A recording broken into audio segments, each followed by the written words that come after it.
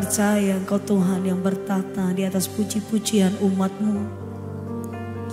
Kau Tuhan yang berkuasa dulu, sekarang, sampai selama-lamanya. Tidak pernah berubah. Setiap makhluk baik di bumi, baik di surga. Sujud di hadapan Tuhan. Mengangkat suara menyembah. normas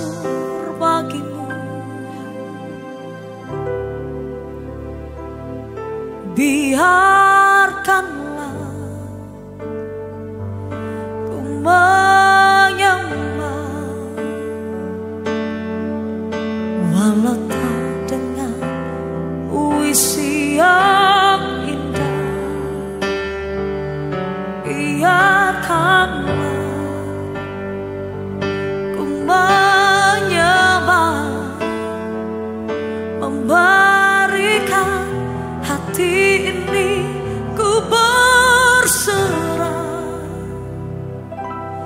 dengan penuh kasih sayang.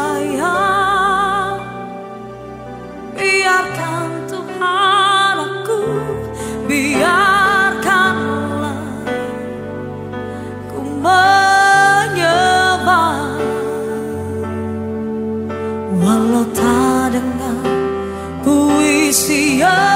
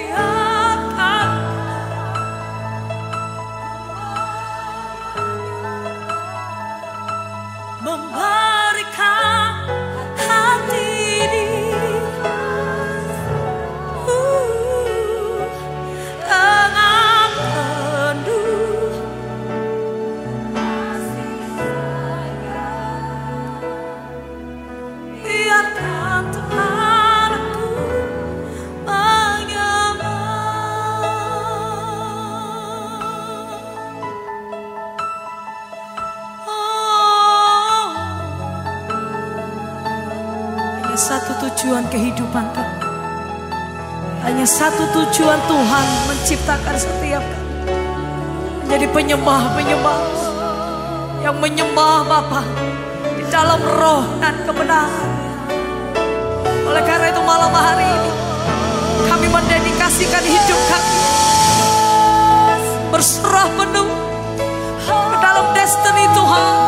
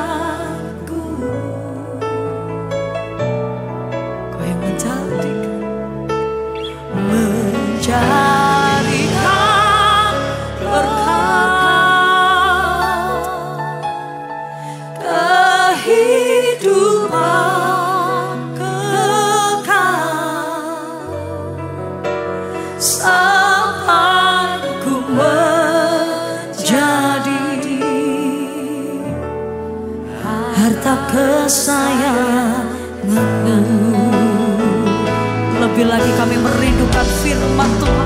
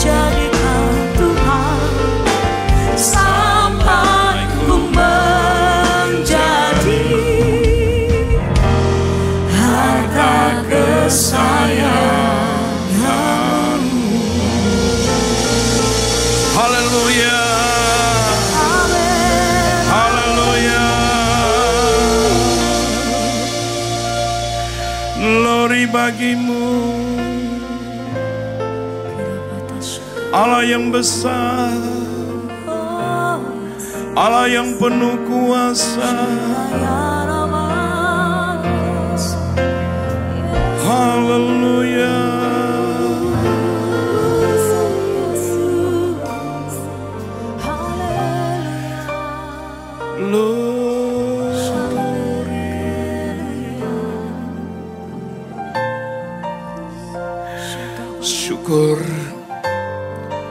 Engkau Tuhan yang luar biasa di dalam setiap kehidupan kami. Kami menikmati hadirat-Mu pada malam hari ini Tuhan. Engkau baik dan Engkau selalu baik dalam setiap kehidupan kami. Karena itu ketika kami sungguh-sungguh menyembahmu, Engkau masuk dan bekerja di dalam hati dan pikiran kami. Memberi sukacita dan damai di dalam hati kami. Supaya kami boleh menikmati hadiratmu di dalam setiap kehidupan kami. Tuhan, Engkau tahu banyak masalah persoalan yang kami hadapi dalam hidup ini. Tapi kami percaya malam hari ini, Engkau menjadi jawaban yang pasti bagi kami semua di dalam kehidupan kami. Karena engkau Allah yang hidup, engkau yang memilih kami, engkau yang bertanggung jawab atas kehidupan kami. Karena itu kami mau sungguh-sungguh memberi hidup ini kepadamu Tuhan. Bekerja dalam setiap kehidupan kami. Dengan firman Allah yang Tuhan terus beri kepada kami. Ajar kepada kami. Supaya kami boleh menerima firman Allah supaya kami belajar bagaimana melakukan setiap kebenaran firman itu di dalam kehidupan kami. Supaya apa yang kami buat dan kami lakukan dalam hidup ini semua menyenangkan hati Tuhan dan hidup kami menjadi berkat bagi sesama di dalam perjalanan hidup ini. Oleh karena itu Tuhan, malam hari ini Roh Kudusmu yang Engkau beri bagi kami semua tetap ada dan bekerja di dalam hati dan pikiran kami, menguasai setiap kehidupan kami, supaya firman Allah yang kami dengar malam hari ini, Roh Kudus menerjemahkan di dalam hidup kami, supaya apa yang kami buat dan kami akan lakukan dalam hidup ini, supaya kami tetap berjalan di dalam kebenaran firman Allah, menuju kepada janji-janji Engkau beri bagi kami di dalam kehidupan kami. Kami percaya malam hari ini Tuhan, kami yang punya masalah akan menjadi dapat jawaban dari Tuhan. Kami yang sakit kami percaya malam hari ini Tuhan akan menyembuhkan kami. Tuhan akan memulihkan kami dalam nama Yesus. Karena kami percaya firman Allah itu sangat berkuasa untuk memulihkan dan menyembuhkan hidup kami. Terima kasih Bapa. Kami sudah siap mendengarkan firman-Mu. Hanya di dalam nama Yesus kami sudah mengucap syukur dan berdoa. Haleluya. Semua yang diberkati sama-sama berkata, Amin. Silakan duduk Bapak Ibu. Shalom.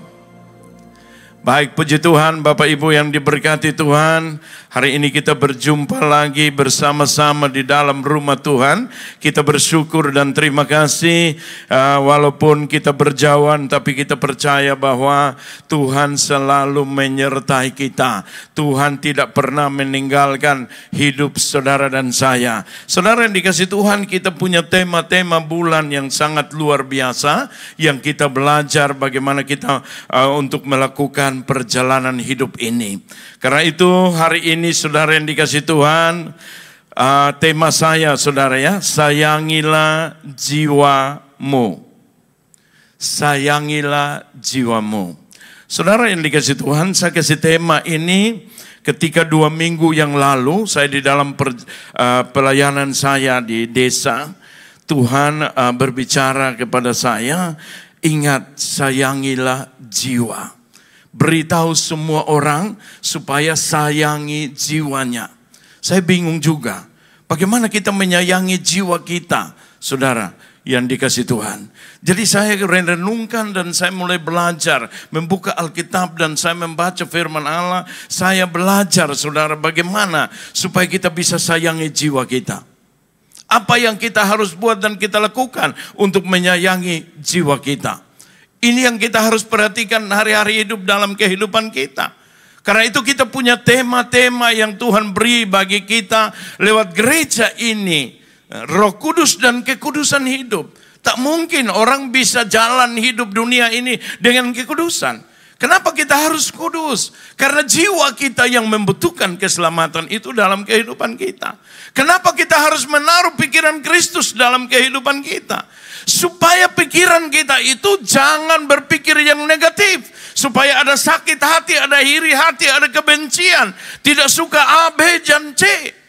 Itu yang kita harus perbaiki pikiran kita. Kenapa? Karena semua yang kita buat dan kita lakukan satu tujuan. Supaya jiwa saudara dan saya mendapatkan keselamatan dalam kehidupan kita. Tubuh pasti kembali ke tanah. Roh yang Tuhan beri adalah kehidupan yang dia beri bagi kita untuk hidup. Tapi jiwa ini yang bertanggung jawab apa yang kita buat dan kita lakukan di dalam kehidupan kita. Karena itu kita baca satu ayat firman Allah dalam Matius pasal yang ke-10 ayat yang ke-28. Matius pasal 10 ayat yang ke-28. Apa yang Yesus katakan? Perhatikan. Dan janganlah kamu takut kepada mereka yang dapat membunuh tubuh, tetapi yang tidak berkuasa membunuh jiwa. Ya. Takutlah terutama kepada dia yang berkuasa membinasakan baik jiwa maupun tubuh di dalam neraka. Saudara perhatikan kata-kata apa yang Yesus katakan. Jangan takut kepada semua orang yang ada di dunia ini. Tapi mari kita saling menghargai dalam hidup ini. Tapi takutlah kepada Allah. Allah yang bisa memasukkan tubuh dan jiwa kita ke neraka. Itu yang kita takut. Kalau manusia boleh membunuh tubuh kita untuk mati. Tapi jiwa kita ini akan kembali ke surga yang kekal.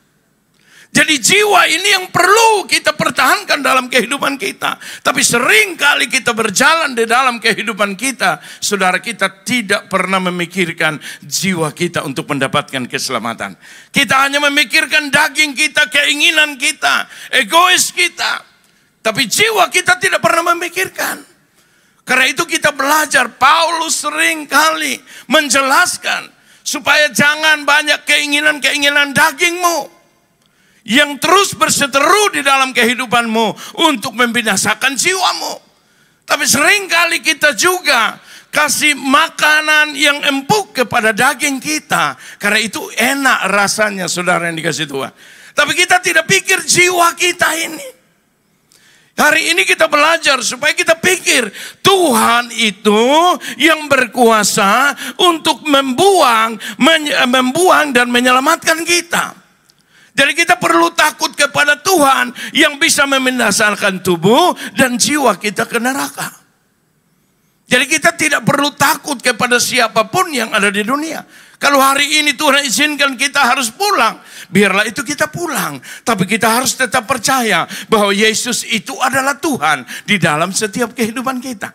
Keselamatan itu satu, saudara yang dikasih Tuhan. Tidak ada dua keselamatan itu dalam hidup ini. Satu jiwamu selamat harus percaya kepada Yesus. Akulah jalan kebenaran dan hidup. Tidak ada seorang pun, dia bilang. Tidak ada seorang pun yang mau datang kepada Bapakku kalau tidak lewat kebenaran itu. Jadi kita mau belajar supaya jiwa kita ini mendapatkan keselamatan. Berarti makanan yang paling penting dalam jiwamu itu adalah kebenaran firman Allah. Tidak ada yang lain dalam hidup ini, saudara yang dikasih Tuhan. Tubuh memang saudara punya keinginan-keinginan dunia. Yang membuat jiwa kita ini akhirnya bisa binasa karena keinginan tubuh. Hari ini kita mesti belajar supaya keinginan tubuh itu dibatasi, keinginan daging itu dibatasi. Sekarang kita harus kasih makan apa? Firman Allah. Supaya ada kekuatan firman iman dalam kehidupanmu. Akhirnya hari ini kita harus datang ibadah, ada godaan, Ya, ada cobaan datang menggoda kita padahal kita sudah berdoa semalam. Eh harus ke gereja, eh, harus ke ibadah hari ini. Ibadah tengah minggu. Malam kita sudah siap kemarin. Saya harus berdoa. Besok mau datang satu jam sebelum ada godaan lagi. Akhirnya jiwa kita tidak mendapatkan kekuatan. Tapi godaan itu untuk daging kita lagi. Ya sudah, minggu depan aja, minggu ini bisa. Saudara, kalau kita tahu sendiri kapan kita harus pulang. Tidak usah ibadat setiap minggu nggak apa-apa. Nanti aja Tuhan bilang, oh besok kamu pulang. Hari minggu ke gereja dulu. Hari Senin saya bawa kamu pulang. Itu pasti kita dapat keselamatan itu. Karena Tuhan itu maha pengasih dan maha penyayang. Ya. Jadi setiap orang itu diberi kesempatan dalam kehidupan ini. Kalau tidak firman Allah, kenapa dia berkata, berjaga-jagalah, bersiap-siaplah. Aku datang seperti pencuri. Karena itu orang Kristen hari-hari ini mesti tetap berjaga-jaga. Hidup di dalam setiap kebenaran firman Allah. Hidup di dalam setiap Injil yang Tuhan beri bagi kita. Supaya kita jangan menyimpang ke kiri dan ke kanan. Supaya apa? Jiwa kita ini mendapatkan surga yang kekal. Saudara tahu, hidup di dunia ini 70 sampai 100 tahun.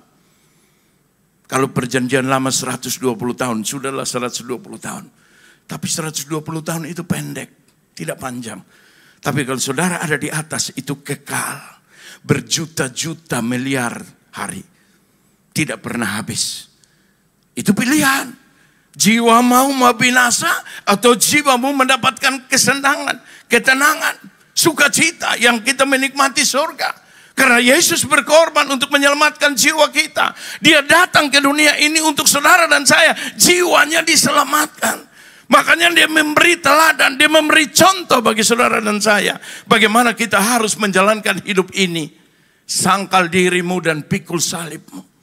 Banyak orang berkata, ah sudahlah jangan jadi Kristen sangkal diri pikul salib. Tapi itu yang Tuhan bilang. Itu yang firman Allah katakan. Itu bukan yang pendeta katakan, firman Allah yang katakan. Sangkal diri kalau kau mau jadi muridku, sangkal dirimu dan pikul salibmu. Makanya Paulus bilang, hidupku bukan aku, tapi Kristus yang ada dalam kehidupanku. Ini yang kau harus lakukan. Dulu aku tangkap orang, benci orang, dendam orang. Tapi sekarang ketika aku berjumpa dengan Yesus, pikiranku mulai berubah, hidupku mulai berubah, hatiku mulai berubah, jiwaku mulai berubah. Kalau aku mendapatkan itu keselamatan dalam hidup ini, aku perlu memberitahu kepada semua orang supaya jiwa mereka mendapatkan keselamatan. Hari ini semua kita mau belajar, saudara yang dikasih Tuhan. Supaya kita jangan takut Mati kapan pun tidak perlu takut. Takut kepada manusia, tidak usah takut. Gempa bumi mau terjadi apa pun, tidak usah takut. Perang mau terjadi di mana pun, tidak usah takut. Hubungan yang baik dengan Tuhan. Kalau Tuhan bilang ini hari, kita sudah siap. Tuhan bilang malam ini, kita sudah siap. Tuhan bilang satu tahun lagi, kita sudah siap. Ini yang perlu. Supaya apa? Jangan sia-sia kita mengiring Tuhan. Jangan sia-sia kita jadi orang Kristen. Supaya kita mendapatkan apa yang Tuhan janjikan bagi kita. Tapi sering kali kita tagih janji Tuhan. Tapi kita tidak pernah melakukan apa yang Tuhan ingin kita buat dan lakukan dalam hidup ini. Karena itu kita mau belajar bersama-sama saudara yang dikasih Tuhan. Kalau kita baca dalam 1 Yohanes pasal kelima ayat 7 dan 8. Perhatikan, sebab ada tiga yang memberi kesaksian di dalam sorga. Bapa, Firman, dan Roh Kudus. Dan ketiganya adalah satu. Yang ke-8. Dan ada tiga yang memberi kesaksian di bumi.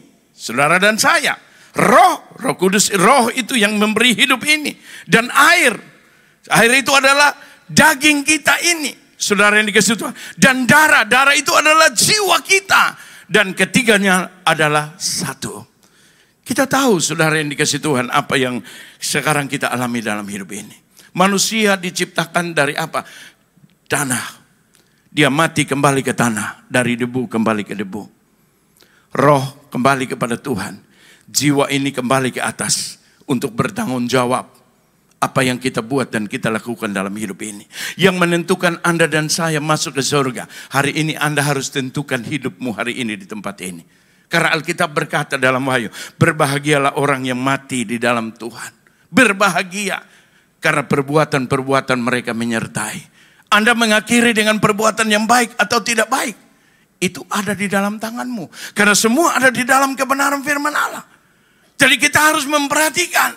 Seringkali kita tidak pernah memperhatikan bahwa tubuh kita yang kita hiasi yang baik itu baik supaya penampilan kita baik-baik.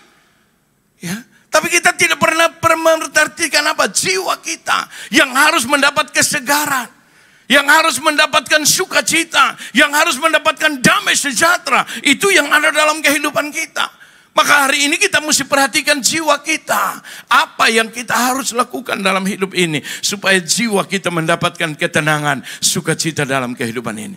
Kalau kita tenang Bapak Ibu yang dikasih Tuhan. Berarti ada kekuatan Tuhan dalam kehidupan kita. Kalau saudara uh, naik pesawat gempa bumi kemarin di NTT. Ya pagi-pagi jam 4 itu goncang sekali saudara.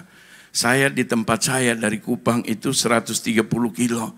Tapi di kamar saya itu goncang. Begitu goncang begini. Istri saya kaget jam 4 setengah 5. Dia mau bangun mau lari. Saya bilang tidak usah lari. Kalau kamu keluar waktu kamu bangun terburu-buru. Bisa jatuh bisa bahaya. Ya kan? Tidak usah, tenang aja. Kalau memang ini hari kita harus mati ya sudah. Memang itu cukup sudah. Berarti tidak ketemu teman-teman di Surabaya hari ini kan. Betul ya saudara ya? Itu urusan Tuhan. Mati dan hidup ini urusan Tuhan Bapak Ibu. Tapi apa yang kita harus buat dan lakukan dalam hidup ini supaya semua boleh menyenangkan Tuhan. Dan hidup kita mulai diperhatikan. Supaya apa? Menyenangkan sesama dalam kehidupan kita. Nah saudara ini kasih Tuhan. Maka itu hari ini kita juga mesti memperhatikan apa yang kita buat dan kita lakukan dalam hidup ini. Mari kita baca satu bagian. 1 Tesalonika 5 ayat yang ke-23. Ya, apa yang Paulus tuliskan kepada jemaat di Tesalonika. Perhatikan, semoga Allah damai sejahtera menguduskan kamu seluruhnya dan semoga roh, jiwa dan tubuhmu dipelihara sempurna dengan tak bercatat pada kedatangan Yesus Kristus Tuhan kita. Ingat kata-katanya. Roh, Semoga roh, jiwa, dan tubuhmu terpelihara sempurna. Tak bercacat pada kedatangan Yesus Kristus Tuhan kita. Jadi hati-hati saudara, mari kita memperhatikan yang baik. Apa yang kita buat dan kita lakukan. Ya, kita tidak tahu Tuhan datang kapan. Ya, kalau visi yang Tuhan beri, kalau Tuhan mau datang besok, berarti kita semua diangkat hidup-hidup tubuh kita, roh dan jiwa terpelihara dengan baik sampai Yesus datang membawa kita. Kemarin di Kupang, saudara, ada teman sekerja, bapaknya meninggal. Saya ketemu orangnya ya lumayan, hidupnya lumayan. Jadi itu ketemu kakaknya. Saya bilang, Bu, adikmu sudah meninggal, sudah pulang. Saya bilang, Coba kamu lihat di dalam peti. Apa yang dia bawa. Gak ada yang dia bawa. Makanya hidup yang sudah berlanjut ini. Mari kita ingat Tuhan. Apa yang kita harus buat untuk Tuhan. Jangan pikir tentang hartamu yang banyak ini lagi. Supaya Anda bisa stres dan cepat pulang. Tapi mari ingat Tuhan sepanjang hari dalam kehidupanmu. Karena sudah waktunya Tuhan akan bawa kita pulang. Tidak pernah bawa apa yang ada di dunia ini. Saudara yang dikasih Tuhan. Pengalaman-pengalaman hidup ini. Membuat kita hari ini. Supaya mari kita memperhatikan jiwa kita. Kalau kita sering beribadah kepada Tuhan, kita sering membaca firman Allah, kita sering berdoa kepada Tuhan sungguh-sungguh, sering apa? Menyembah Tuhan sungguh-sungguh dalam hidup ini, jiwa kita akan mendapatkan ketenangan dalam hidup ini. Apa yang Daud katakan dalam Mazmur? Kita baca dalam Mazmur 42. Kerinduan kepada Allah. Dengan berikutnya. Mazmur 42. Kita baca beberapa ayat. Ayat 1. Untuk pemimpin biduan nyanyian pengajaran Bani Korah. Seperti rusa merindukan sungai yang berair. Demikianlah jiwaku merindukan engkau ya Allah. Jiwaku rindu kepada Allah. Jiwaku haus kepada Allah. Kepada Allah yang hidup. Bilakah aku boleh datang melihat Allah. Datang di gereja. Ketemu dengan Tuhan. Gereja sudah mengajarkan kita. Datang di gereja bukan ketemu pendeta. Bukan ketemu siapa-siapa. Tapi kita harus berjumpa dengan Tuhan. Amin. Itu kerinduan kita. Bangkitkan satu kerinduan dalam kehidupanmu untuk datang ke gereja untuk berjumpa dengan Tuhan.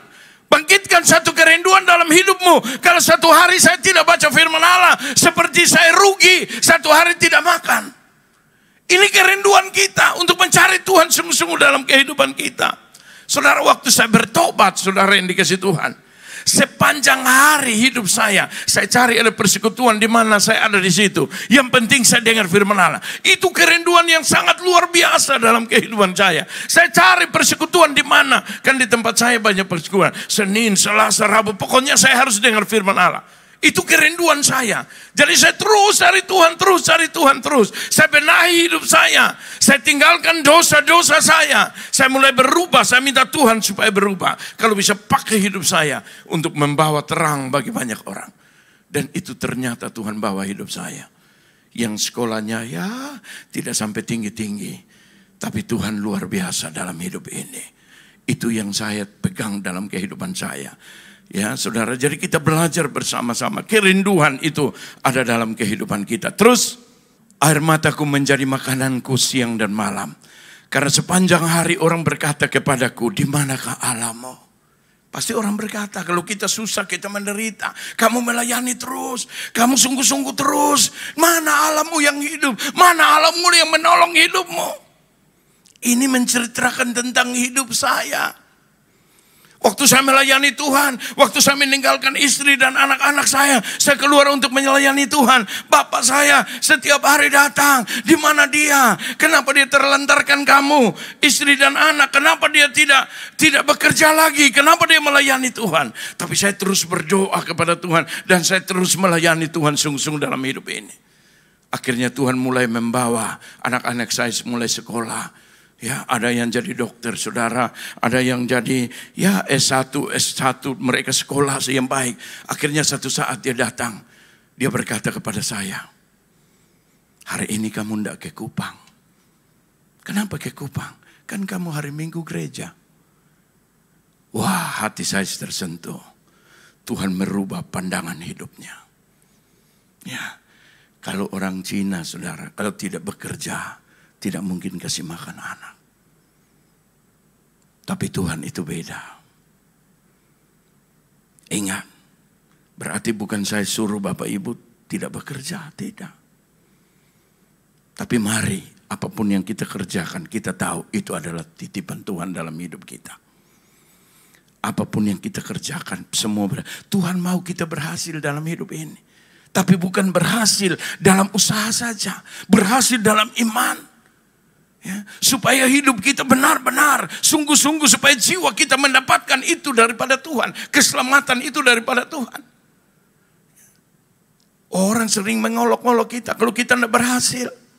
Ya, tapi kita terus bergumul dan terus berdoa kepada Tuhan. Supaya Tuhan nyatakan. Tidak gampang saudara. Perjuangan itu tidak gampang. Tidak kita perlu membuktikan iman kita. Supaya kita jangan bimbang dan kita jangan ragu. Percaya bahwa Tuhan pelihara hidup kita. Dan Tuhan membuktikan itu. Apa yang terjadi dalam kehidupan ini. Lanjut.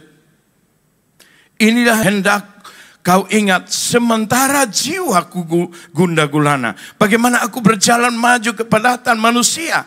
Mendahului mereka melangkah ke rumah Allah dengan suara bersorak-sorak dan nyanyian syukur dalam keramaian orang-orang yang mengadakan perayaan. Ya.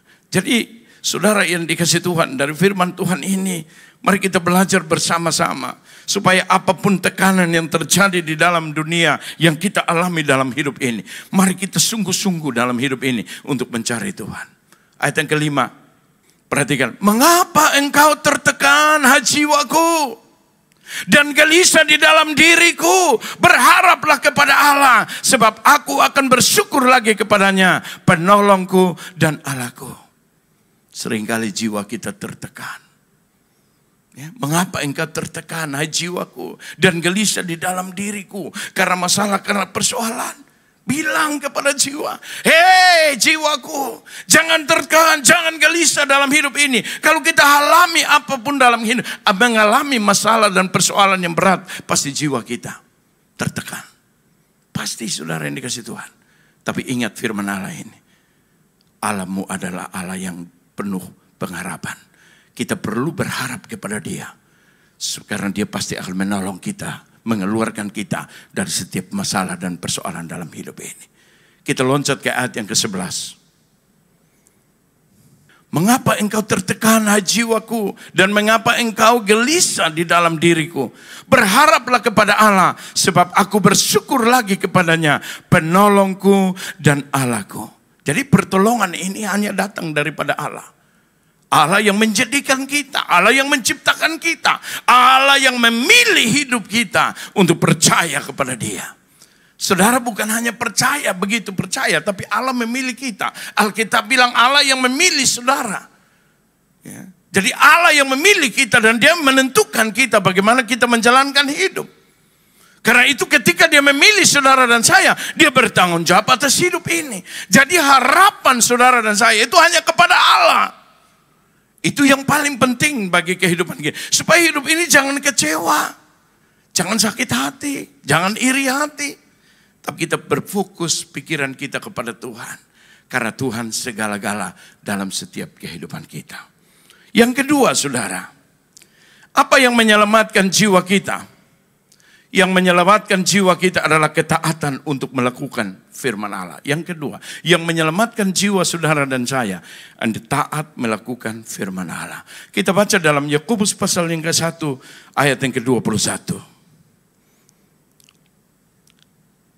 Sebab itu buanglah segala sesuatu yang kotor dan kejahatan yang begitu banyak itu dan terimalah dengan lemah lembut firman yang tertanam di dalam hatimu yang berkuasa untuk apa? Menyelamatkan jiwamu. Hanya firman Allah yang membersihkan hati dan pikiran kita. Firman Allah itu yang berkuasa untuk apa? Menyelamatkan jiwa kita. Makanya Paulus bilang, kepada jemaat yang ada di Roma. Injil adalah kekuatan Allah yang menyelamatkan jiwamu, menyelamatkan hidupmu. Itu kekuatan Allah. Nah kita perlu firman Allah dalam kehidupan kita. Kita perlu kebenaran itu dalam kehidupan kita. Supaya jiwa kita ini mendapatkan keselamatan. Makanya Yesus bilang, aku jalan kebenaran dan hidup. Orang berjalan di dalam kebenaran. Tuhan juga pernah berkata kepada Yosua, Supaya ketika Musa memberikan kepada kamu Taurat, kamu berjalan sesuai dengan Taurat, jangan menyimpang ke kanan dan ke kiri, supaya di mana engkau berada, engkau akan berhasil. Karena itu kebenaran firman Allah. Kita harus sering untuk menjalankan firman. Bukan kita dengar saja saudara yang dikasih Tuhan. Tapi mari kita masukkan dalam hati kita, membersihkan hati dan pikiran kita.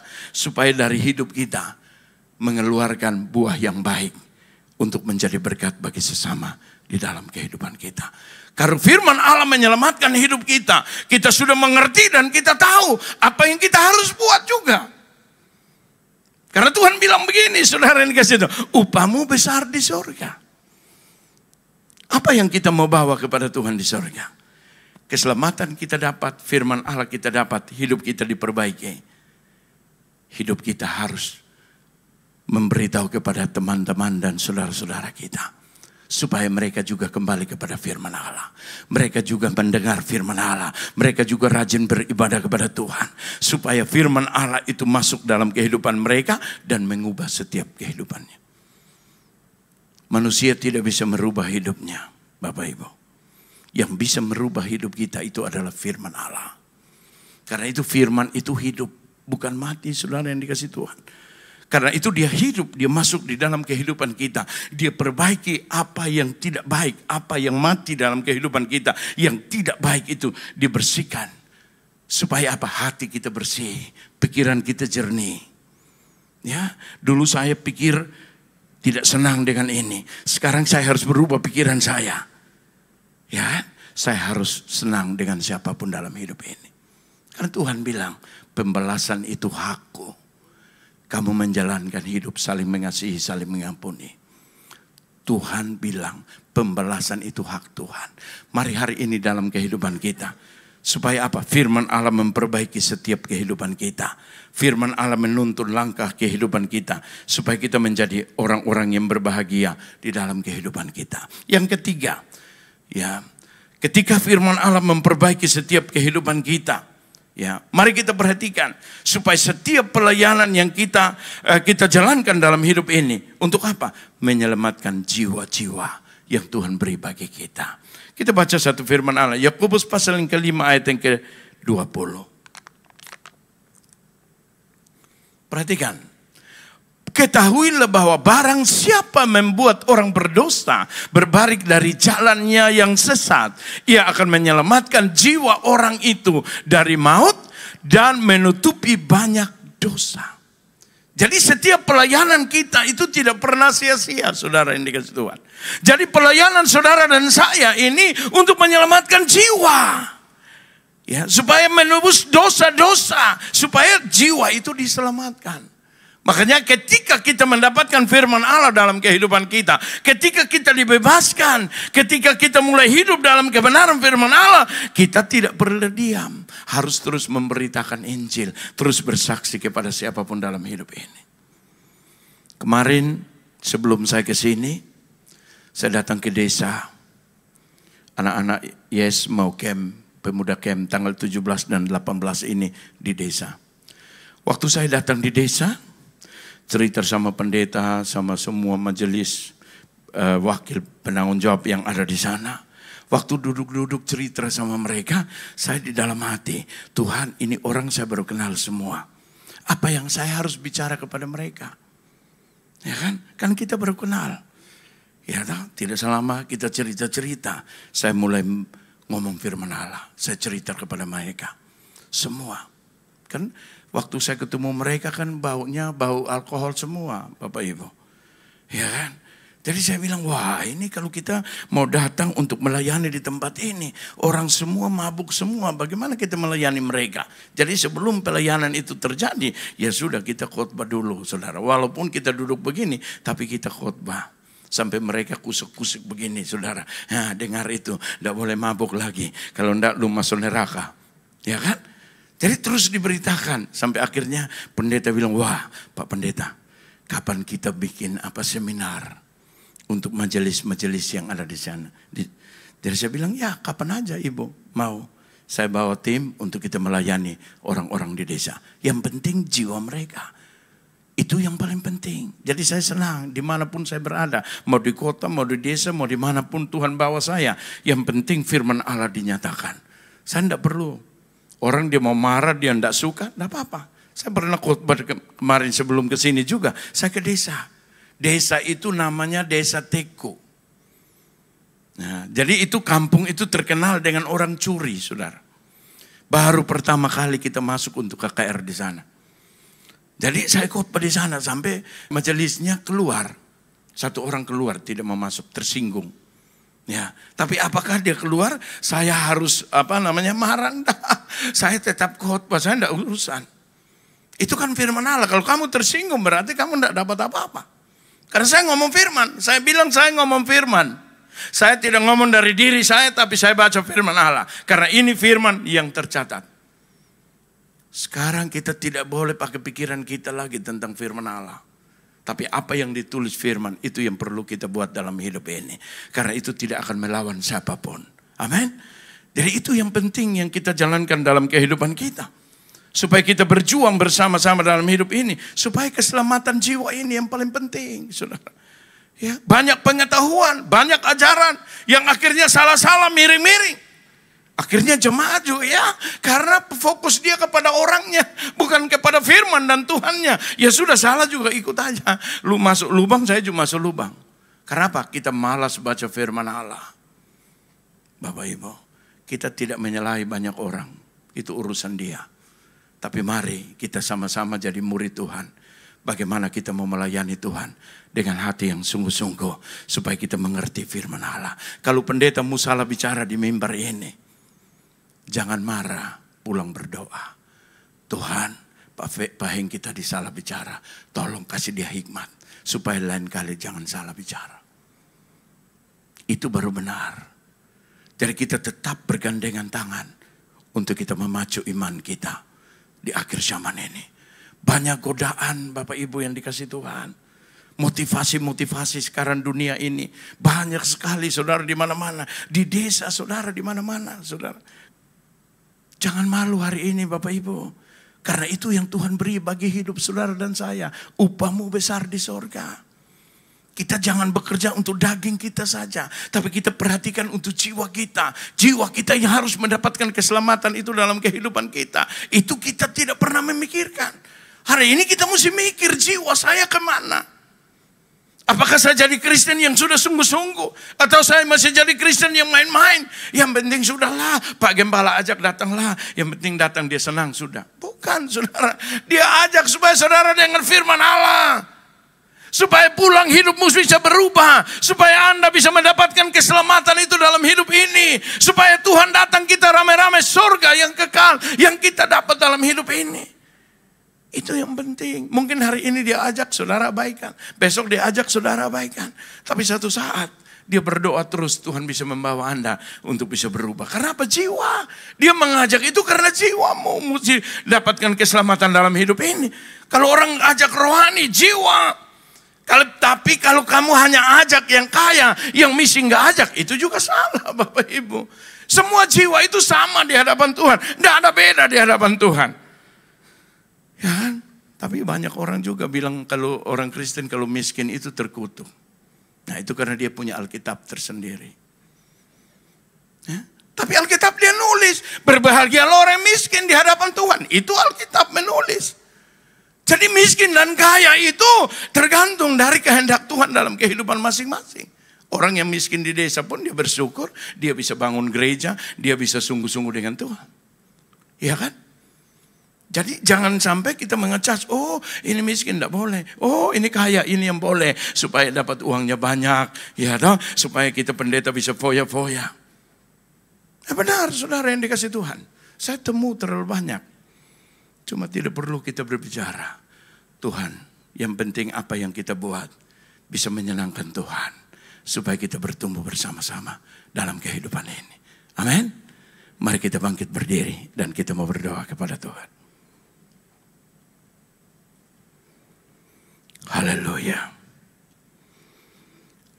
Terima kasih Tuhan. Engkau luar biasa di dalam setiap kehidupan kami. Hari ini kami mau memperhatikan jiwa kami. Karena jiwa kami yang akan mendapatkan keselamatan. Tubuh kami ketika Tuhan datang menjemput kami. Tubuh kami tetap kembali ke tanah. Jiwa kami ini yang sering kali kami tidak perhatikan. Jiwa kami ini yang membutuhkan keselamatan dalam hidup ini. Karena itu hari ini. Dengan firman Allah yang Tuhan beri bagi kami semua Jangan takut kepada orang yang membunuh tubuh, tapi tidak bisa menyelamatkan jiwa. Takutlah kepada Tuhan yang bisa membinasakan tubuh dan jiwa. Karena itu kita belajar jangan takut kepada semua orang di dunia. Tapi kita saling menghargai dalam kehidupan ini. Tapi takutlah kepada Tuhan. Karena dia yang bisa menyelamatkan tubuh dan jiwa. Karena itu kita belajar bersama-sama supaya pikiran kita diubahkan. Supaya hari ini kita mau takut kepada Tuhan dan kita perhatikan firman Allah. Karena firman Allah yang bisa menyelamatkan jiwa kita. Buktikan dalam ketaatan untuk melakukan firman dalam hidup ini. Supaya jiwamu dan jiwaku mendapatkan keselamatan dalam kehidupan ini. Tuhan hamba berdoa Kekuatanmu yang ajaib, kekuatanmu yang besar malam hari ini. Apa pun yang menjadi pergumulan umatmu malam ini. Hamba percaya di dalam nama Yesus. Mereka akan menerima itu dalam kehidupan mereka. Kalau yang sakit malam hari ini hamba percaya dalam nama Yesus. Sama dan sembuhkan dalam nama Yesus. Mereka pulang dengan kemenangan yang Tuhan beri di dalam kehidupan mereka. Terima kasih banyak Bapak di surga. Ini menjadi doa kami Tuhan. Ini menjadi ucapan syukur kami. Hanya di dalam nama Yesus. Kami mengucap syukur kepada Tuhan. Renungan firman jiwaku terbuka untuk Tuhan.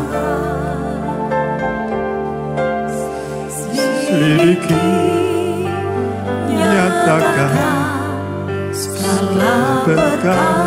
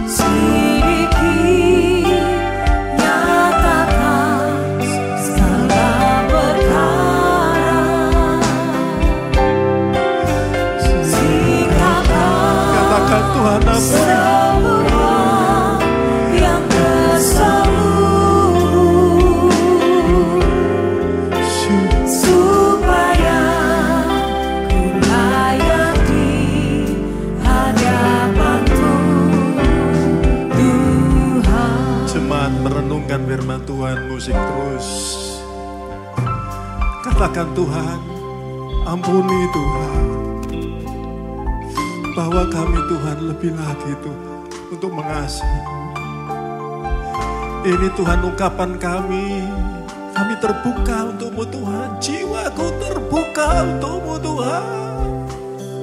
Jiwaku terbuka untukmu Tuhan. Katakan sama-sama. Jiwaku terbuka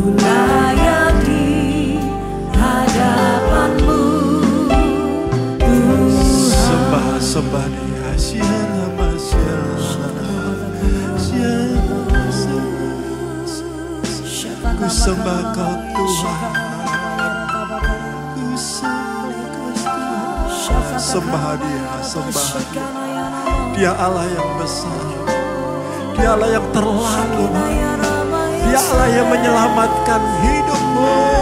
Dia Allah yang menolong hidupmu. Secara mesej sembah dia, sembah dia. Aku sembahkan Tuhan.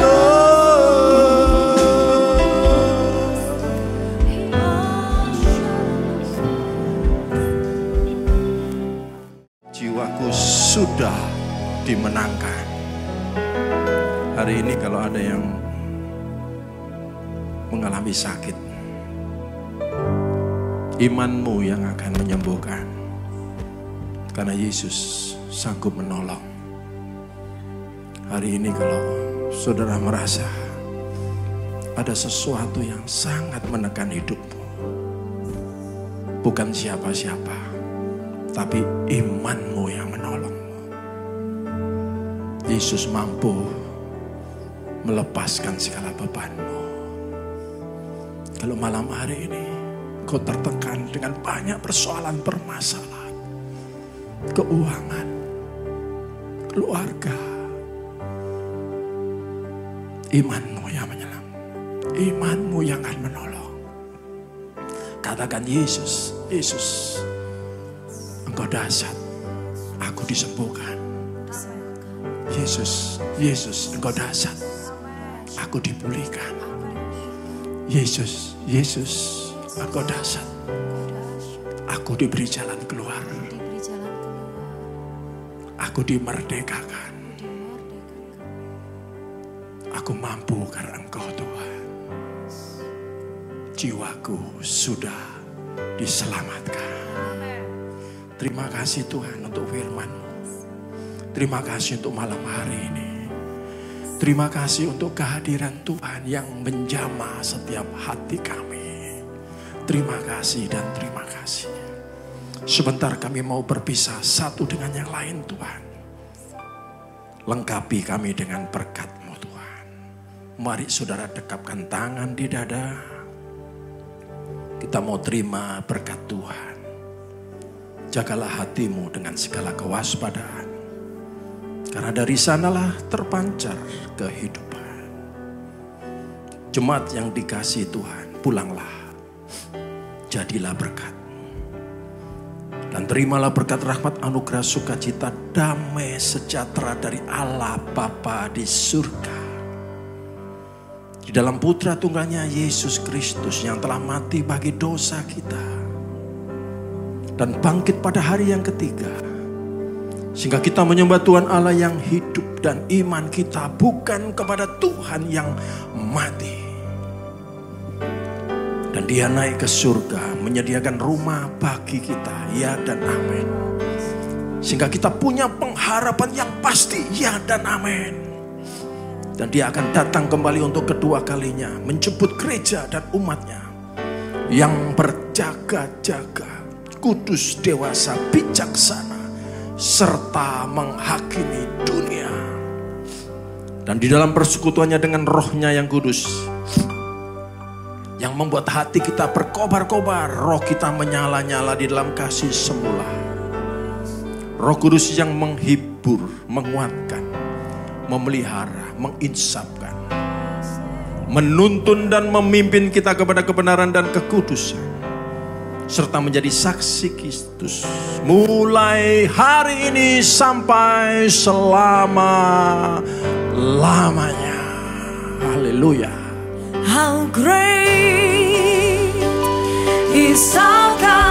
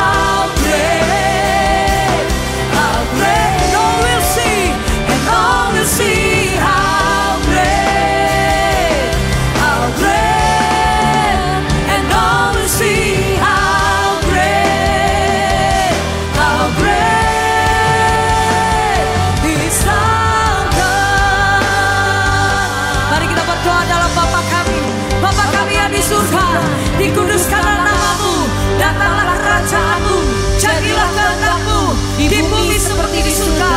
Berikanlah kami pada hari ini makanan kami yang secukupnya.